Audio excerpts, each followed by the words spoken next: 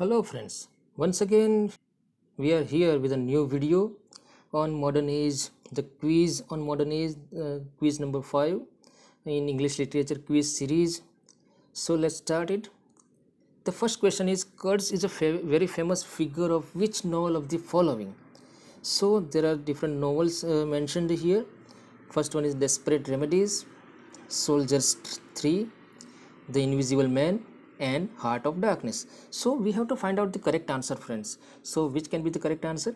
Uh, it is The Heart of Darkness. Yes, friends. It's D, the right answer.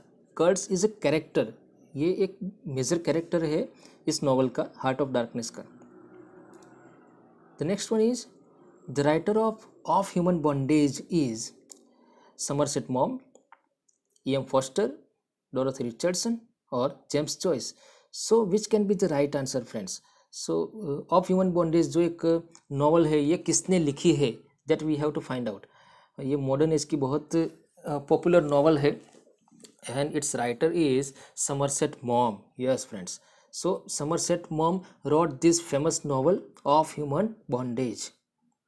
The next one is which novel of Foster is divided into three parts named as mosque, caves, and temple.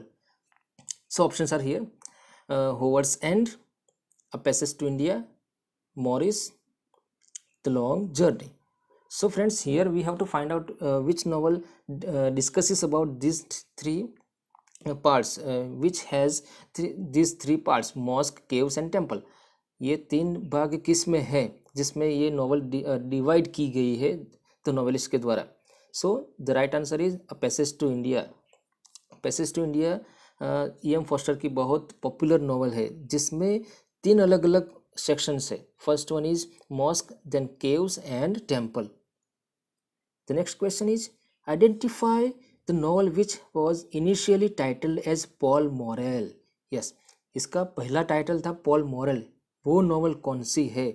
So it it is is it white peacock और lady Chatterley lover और sons and lovers और the trespassers so इसमें से right answer कौन सा है?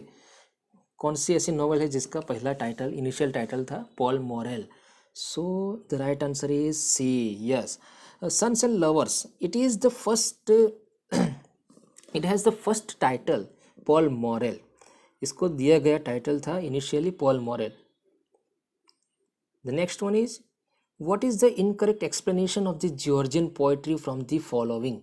So here we have uh, four different explanations on on poetry on georgian poetry. And we have to find out the incorrect one not the correct one. Three are correct and one is incorrect. So let's see them.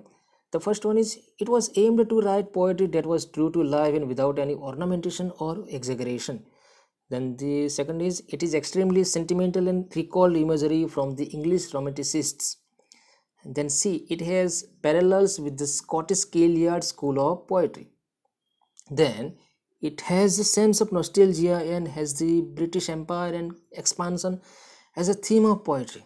So what can be the right answer friends uh, which is not a correct explanation of Georgian poetry. So let's see it is D the last one. It has a sense of nostalgia and has the British Empire and expansion as a theme of poetry. So it is not uh, related to Georgian poetry. It defines something else. So friends, ABC is the correct explanation of Georgian poetry. Uh, you can uh, uh read it again. We can read it again. Uh, it was aimed to write poetry that was true to life and without any ornamentation or exaggeration. There is no ornamentation or exaggeration in this kind of poetry. And it was extremely sentimental and recalled imagery from the English romanticists it was uh, this poetry is connected with the romanticists of english literature and it has parallels with the scottish Kailyard school of poetry. So it has a great connection with the school of poetry we can say Kailyard school of poetry of scotland. The next one is which novel of george orwell is marked as a satire on equality George Orwell की वो कौन सी novel है जो एक satire है equality के ऊपर, समानता के ऊपर, एक कटाक्ष हम कह सकते हैं, व्यंग है। So we have option here Burmese days animal farm 1984 और no man's land so, we have to find out the right answer. It is b, animal farm. Yes, friends, ये एक नॉवल है जॉर्ज ऑरवेल के द्वारा, जिसमें उस, उन्होंने equality के ऊपर व्यंग किया है, सटायर किया है। Next one is who wrote seven types of ambiguity leading the field of literary criticism in the first half of the twenty century who wrote this particular work the literary critical work ये criticism का एक बहुत बड़ा work माना जाता है friends और इसके राइटर्स कौन है? विलियम एम्सन है या फिर आई. रिचर्ड्स है या फिर ए. सी. ब्रैडली है और टी. एस. एलियोट है। Who is that critic who wrote this book seven types of ambiguity he is William Empson William Empson himself wrote this book seven types of ambiguity and it is the popular book of twenty century literary criticism in English the next one is who popularise the term objective correlative in his writings the options are F. R. Lewis, I. A. Richards, T. S. Eliot और William Empson objective correlative एक ऐसा term एक phrase है जो Shakespeare के बारे में दिया गया है बस बट किसने दिया है उस किसने पॉपुलराइज किया है इसको so it was popularise by T S Eliot yes T S Eliot ने इसको पॉपुलराइज किया था उसकी राइटिंग्स में और ये शेक्सपियर के बारे में है objective correlative the problem of objective correlative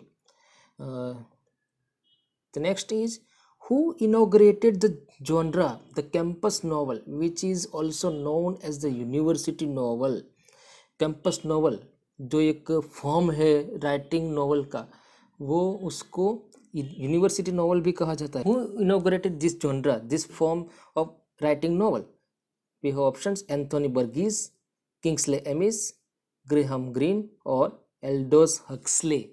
So who is the uh, particular writer who inaugurated this one? So it is B. Kingsley Amis. Kingsley Amis was the person who inaugurated this genre, this form of writing novel, which is also known as university novel. So campus novel is equal to university novel that we have to remember.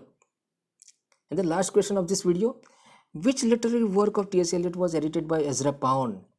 There is one particular work, very famous and popular work by T.S. Eliot, which was edited by Ezra Pound. A collaboration work we can say. Options are here, The Wasteland, Gerontion, Aerial Poems or Ash Wednesday.